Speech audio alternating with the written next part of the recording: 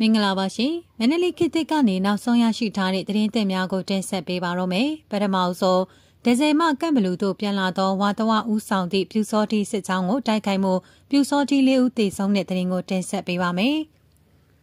စကိုင်းတိုင်းဒဇယ်မြို့နယ်မြို့နယ်တနေရာမှာကမ်ဘလူမြို့နယ်သို့ပြန်လာတဲ့ဝါတဝပြူစောတိစစ်ကြောင်းကိုတိုက်ခိုက်ခဲ့ရာပြူစောတိနှစ်ဦးကထိခိုက်သေးဆုံးခဲ့ကြောင်းပြည်သူ့လူမျိုးရေးတပ်ဦး PNL တပ်ဖွဲ့ထံမှသိရပါဗျ။ ယမန်နေ့မက်လ9ရက်မနက်9နာရီခန့်ကဒဇယ်မြို့မှကမ်ဘလူမြို့နယ်သို့ပြန်လာတဲ့အင်အား150ခန့်ရှိဝါတဝပြူစောတီစစ်ကြောင်းထွက်ခွာလာကြောင်းသတင်းအရဒေါ်လာရေးပူပေါင်းတပ်ဖွဲ့ဝင်များကကြိုတင်ဆောင်ဆိုင်နေရယူပြီးဆောင်ဆိုင်ခဲ့ရမှာမနက်၈နာရီမိနစ်20အချိန်မှစတင်ပြီးအပြန်အလှန်ပစ်ခတ်တိုက်ပွဲမိနစ်20ခန့်ဖြစ်ပွားခဲ့ပြီးပြူစောတီ2ဦးသို့မဟုတ်၄ဦးခန့်သေဆုံးခဲ့ကြောင်းသိရပါတယ်။အဆိုပါတိုက်ခိုက်မှုကိုပြည်သူ့လွတ်မြောက်ရေးတပ်မတော် PNL အမတ်တစ်စစ်ဒေသအတွင်းပါဝင်တဲ့မုံတိုင်ပင်ပါကားဖတက်တဲ့ပါကားဖကြောက်တိုင်ပါကားဖတို့ပါဝင်တဲ့မဟာမိတ်တပ်ဖွဲ့ဝင်အင်အား40ကျော်ကခြုံခိုဆောင်ဆိုင်တိုက်ခိုက်ခဲ့ခြင်းဖြစ်ကြောင်းဒေါ်လာရေးပူပေါင်းတပ်ဖွဲ့ဝင်များအထူးကိမရှိပြန်လည်ဆုတ်ခွာနိုင်ခဲ့ကြောင်းသိရပါဗျ။ရင်းအကြမ်းဖက်စစ်ကြောင်းဟာတာဂေတကျေးရွာမှနေအိမ်တလုံးနဲ့ပြည်သူပိုင်ဆိုင်ကယ်ကိုစီကိုမိရှို့ဖျက်ဆီးပြီးနတောင်ကျေးရွာဘက်ကိုဆက်လက်ထွက်ခွာသွားကြောင်းသိရှိရပါဗျ။ ဆက်လက်တင်ဆက်ပေးမယ့်သတင်းအကြောင်းကတော့စစ်ကောင်စီကိုအရေးယူမှုများလှုံ့ဆော်နိုင်ရန် UN နျူခွင့်ရေးဆိုင်ရာမဟာမင်းကြီးကို NUG ဝင်ကြီးတိုက်တွန်းတဲ့သတင်းကိုတင်ဆက်ပေးပါမယ်။ကုလသမဂ္ဂလူခွင့်ရေးဆိုင်ရာမဟာမင်းကြီးနဲ့ NUG လူခွင့်ရေးဝင်ကြီးတို့တွေ့ဆုံပြီးစစ်ကောင်စီကိုပုံမထိရောက်သည့်အရေးယူမှုများလှုံ့ဆော်ရန်တိုက်တွန်းခဲ့သည်ဟုလူခွင့်ရေးဝင်ကြီးဦးအောင်မျိုးမင်းကပြောပါရယ်။ မက်လာလီရက်နေ့ကဂျနီဗာနိုင်ငံရှိမဟာမင်းကြီးရဲ့ရုံးခန်းမှာကုလသမဂ္ဂလူခွင့်ရေးမဟာမင်းကြီးဘော့ကာတက်နဲ့တွေ့ဆုံခဲ့ပြီးဆွေးနွေးခဲ့ခြင်းဖြစ်ပါတယ်။လူခွင့်ရေးကောင်စီရဲ့ဆုံးဖြတ်ချက်ထဲမှာယခုထက်ပိုမိုထိရောက်သောအရေးယူဆောင်ရွက်မှုများလှုံ့ဆော်နိုင်ရန်ဒီမိုကရေစီအင်အားစုများကိုလူသားချင်းစာနာမှုဗန္နာရေးဆိုင်ရာနှီးပညာဆိုင်ရာများပံ့ပိုးလှုံ့ဆော်ပေးရန်အရေးယူမှုဆိုင်ရာတာဝန်ယူမှုဆိုင်ရာလှုပ်ဆောင်မိအကြောင်းအရာများကိုပြင်ဆင်လှုပ်ဆောင်ပေးရန်အန်ယူဂျီလူခွင့်ရေးဝန်ကြီး ဦးအောင်မျိုးမင်းကတိုက်တွန်းခဲ့ပါတယ်။ထို့အပြင်လူခွင့်ရေးကောင်စီရဲ့ဆုံးဖြတ်ချက်သာမကကုလသမဂ္ဂလုံခြုံရေးကောင်စီဆုံးဖြတ်ချက်များတွင်အကြမ်းဖက်စေအုပ်စုချိုးဖောက်နေသောကိစ္စများအားတာဝန်ယူမှုတာဝန်ခံမှုဖြစ်စေရန်အတွက်လူခွင့်ရေးလမ်းကြောင်းသာမကတရားစီရင်မှုလမ်းကြောင်းများကိုပါအသုံးပြုနိုင်စေရန်၎င်းကဆက်လက်တိုက်တွန်းပြောကြားခဲ့ပါတယ်။တွဲဆောင်ဆွေးနွေးမှုမှာ 55ကြိမ်မြောက်လူခွင့်ရေးကောင်စီမှတင်သွင်းခဲ့တဲ့လူခွင့်ရေးမဟာမင်းကြီးရဲ့တင်ပြချက်မှာပါဝင်သောအကြမ်းဖက်စစ်အုပ်စုကိုလက်နက်နဲ့ငွေကြေးဖြတ်တောက်မှုများလှုံ့ဆော်နိုင်ရန်အတိတ်ပဲရှိပြီးပုံမထိရောက်တဲ့လှုံ့ဆော်မှုများလှုံ့ဆော်တင်ကြောင်းပြောကြားခဲ့မှုအမျိုးသားညီညွတ်ရေးအစိုးရတိုင်းရင်းသားအဖွဲ့အစည်းများအရက်ဖက်အဖွဲ့အစည်းများကိုဓာတ်ရိုက်ဆက်သွယ်သည့်နိုင်ငံတကာချင်းကပ်မှုပုံစံအသစ်လိုအပ်ကြောင်းပြောကြားခဲ့မှုတို့ကိုကျေးဇူးတင်ပြီးထောက်ခံကြောင်းပြည်ထောင်စုဝန်ကြီးကဆက်လက်ပြောကြားပါတယ်။ လက်ရှိမြန်မာနိုင်ငံ၏လူခွင့်ရေးများကိုတင်ပြခဲ့ရာတွင်အကြမ်းဖက်စစ်အုပ်စုဟာလူမဆန်စွာရက်ဆက်တပ်ဖြတ်မှုများကိုပြုလုပ်နေကြောင်းထို့သောစစ်မှုထမ်းဥပဒေသည်လူငယ်တို့နှင့်အနာဂတ်တိုင်းပြည်အတွက်ပုံမိုဆိုးရွားစေမည့်အခြေအနေကိုဖန်တီးရာရောက်ပြီးထို့များမကစစ်တပ်တွင်လူသားတိုင်းအပါအဝင်အတ္တမလုံအားစေခိုင်းကဲ့သို့လူခွင့်ရေးချိုးဖောက်မှုများကိုတရားဝင်ကျင့်သုံးနိုင်ရန်ရည်ရွယ်ကြောင်းအိန္ဒိချင်းနိုင်ငံများနှင့်ဒေသရင်းရှိနိုင်ငံများအပေါ်ယခုထက်ပုံမိုဆိုးရွားသည့်တရားမှုများစီတွန်းပို့ရာရောက်ကြောင်း ဦးအောင်မျိုးမင်းကအလေးထားတင်ပြခဲ့ပါတယ်။ထို့အပြင်ရိုဟင်ဂျာများကိုစစ်သားသစ်အဖြစ်စုဆောင်းရန်စ조사နေခြင်းသည်ရခိုင်လူရိုးလှုပ်စဉ်နီလန်အတိုင်းဘာသာရေးအတိကယောအသွင်ဖန်တီးပြီးနိုင်ငံရေးလွတ်လပ်ဖြစ်လှုပ်ဆောင်နေခြင်းဖြစ်သည်ဟုထပ်မံထည့်သွင်းဆွေးနွေးခဲ့ပါတယ်။အဆိုပါတွေ့ဆုံဆွေးနွေးပွဲမှာပြည်ထောင်စုဝန်ကြီးနှင့်အတူလူခွင့်ရေးဆိုင်ရာဝန်ကြီးဌာနရဲ့အကြံပေးအဖွဲ့ဝင်ဖြစ်သည့်ဦးဂျာဘတ်အီလန်လည်းတက်ရောက်ခဲ့တယ်လို့သိရှိရပါတယ်။ ဆက်လက်တင်ဆက်ပေးမယ့်သတင်းကြောင်းကတော့ပလောမြို့နယ်နန်းတောင်စစ်စေးရိတ်ဂိတ်ပလောကုန်းနဲ့ခလာရ285တရင်တို့ကို6ရက်ဇက်တိုက်ဒရုန်းဖြင့်ဘုံကျဲတိုက်ခိုက်မှုစစ်ကောင်စီတပ်သားတအူသေဆုံးပြီး9ဦးဒဏ်ရာရတဲ့သတင်းကိုတင်ဆက်ပေးပါမယ်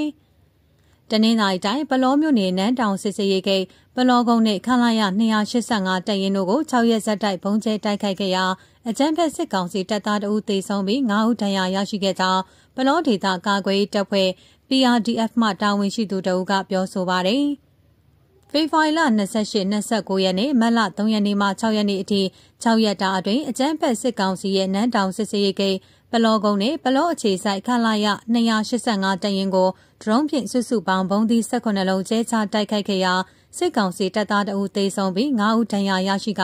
သေဆုံးမှုအရေအတွက်အတိအကျကိုသိရှိနိုင်ရန်စုံစမ်းနေဆဲဖြစ်တယ်လို့သိရပါဗျ။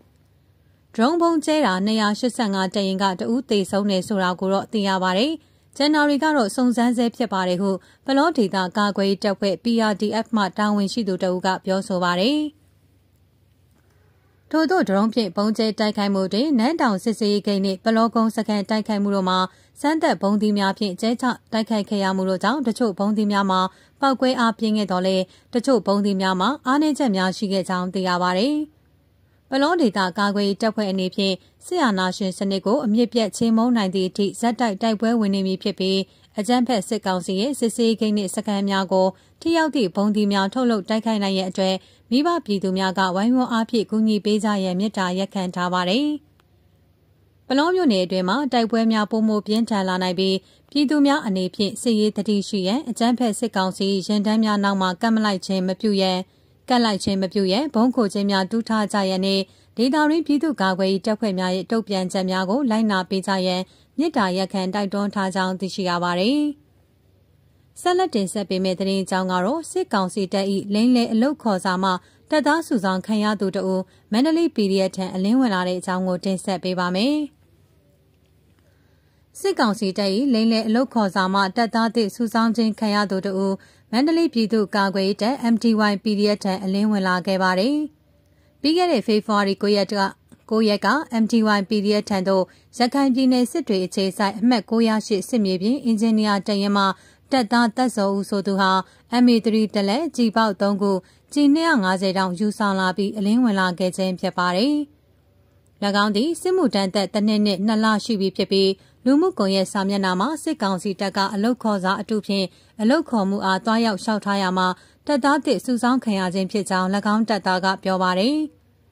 တက်ထဲရောက်လာတာကတော့အညာခံရတာစူဆောင်းရေးက Facebook ပေါ်မှာ post တွေတင်တာအလုပ်ခေါ်စာတို့အစိုးရအင်ဂျင်နီယာမှဝန်ထမ်းခေါ်ယူခြင်းတို့ကျွန်တော်ကအပြင်မှာရန်နေရမောင်းတာကိုရန်နေရမောင်းတဲ့လက်မဲ့ certificate လိုချင်တော့သူတို့က6လတက်ရင် certificate ထုတ်ပေးမယ်ဆိုတော့ သွားတက်လိုက်တာပါတကယ်တမ်းရောက်သွားတာကရန်နေရမောင်းတင်တန်းမဟုတ်ပဲစစ်အခြေခံတင်တန်းဖြစ်နေတယ်အဲ့ဒီမှာတက်ပြီးတော့စစ်ထဲရောက်သွားတာဘူးမသိဘာမသိနဲ့ဟုအစိုးရတက်သားကပြောပြပါတယ်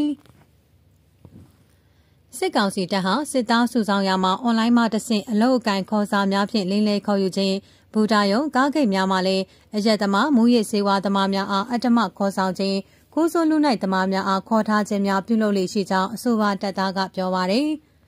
င်းသည်တပိတ်ချင်းမြို့မှာတင်နန်းတက်ပြီးနောက်စစ်တွေမြို့သို့ပို့ဆောင်ခဲ့ရခြင်းဖြစ်ပါတယ်ထို့နောက်2024ဇန်နဝါရီတရက်မှာပြည်ဦးလင်မြို့မှာမိုင်းတင်နန်းလာတက်ပြီးနောက်ရှေ့တန်းသို့ပါလာကတရကုန်းရွာစခန်းကိုဇန်နဝါရီ6ရက်ညကရောက်ရှိခဲ့ပါတယ်။ဖေဖော်ဝါရီ10ရက်မှာမန္တလေး PDF နဲ့ချိတ်ဆက်ပြီးအလင်းဝင်ခဲ့ခြင်းဖြစ်ကြောင်းထိုတပ်သားကရှင်းပြပါတယ်။စစ်ကောင်စီတပ်တွင်တပ်သားများစိတ်သက်ပြက်ပြားနေပြီးတိုက်ခိုက်လိုစိတ်မရှိတော့ကြောင်းလည်း၎င်းကရင်ဖွင့်ပြောဆိုပါတယ်။ ထို့ပြင်ကြန့်ရှိနေတဲ့စစ်ကောင်စီတပ်သားများအားအာဏာယူနေတဲ့အဘတွေအတွက်ကိုယ်အသက်ကိုဇရီပြီးတိုက်မနေပါနဲ့တော့လို့ပြည်သူကိုကိုစားပြုတဲ့လက်နက်ကိုင်အဖွဲ့အစည်းတွေကိုဝင်ပါဖိတ်ခေါ်ပါတယ်လို့ဟု၎င်းကပြောပါတယ်။ဖေဖော်ဝါရီ29ရက်ကလည်းထပ်မံ၍စစ်ကောင်စီတပ်သားတို့လက်နက်ခဲယက်နဲ့အတူအလင်းဝင်လာခဲ့သေးကြောင်းသိရှိရပါတယ်